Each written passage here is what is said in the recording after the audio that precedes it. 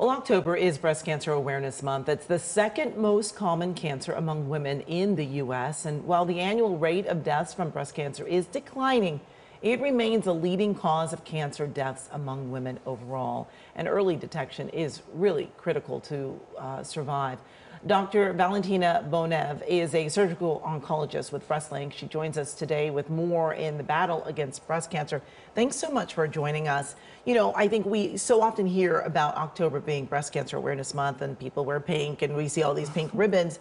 But in your opinion, is this still really important to get the word out this month? Absolutely. Breast Cancer Awareness Month is a reminder that one in eight women are going to be diagnosed with breast cancer in their lifetime. Mm -hmm. So this year alone, about 300,000 new breast cancer cases, and actually men make up almost 1% of those cases. So this month is really important mm -hmm. for people to be aware of their breasts, how they look and feel. So if they experience any changes, to go see their doctor as soon as possible. Absolutely, because that early detection is so key. Um, can you give us some of the breast cancer risk factors? Because I feel like being a breast cancer survivor myself, I didn't feel mm -hmm. like I had the, you know, I wasn't really looking for it. I didn't expect it to happen to me. So a lot of people think, oh, my mom didn't have it, so I'm not going to have it. But there are a lot of risk factors that we should know about. Right. So most patients diagnosed with breast cancer actually don't even have a family history of it. Mm-hmm. The number one risk, risk factor is being female. The 2nd mm -hmm. risk factor is increased age. The median age of diagnosis is 62 years old. Other factors that you can't control are family history or inheriting a gene mutation mm -hmm. associated with breast cancer.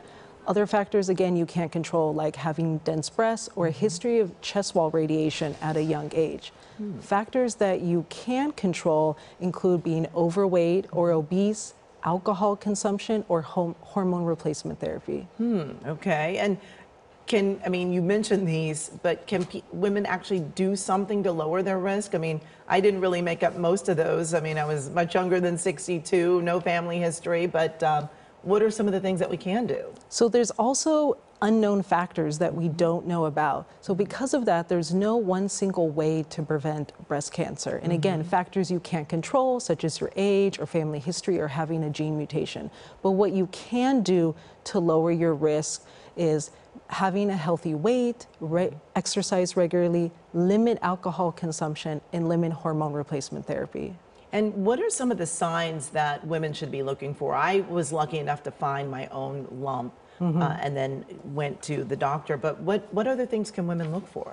So the most common presentation is a patient who notices a new lump or mass. Mm -hmm. But look for that not only in the breast, but also under the armpit. Mm. Look for swelling of the breast or swelling under the armpit, mm -hmm. nipple discharge, nipple retraction or nipple inversion, as well as skin changes or skin thickening.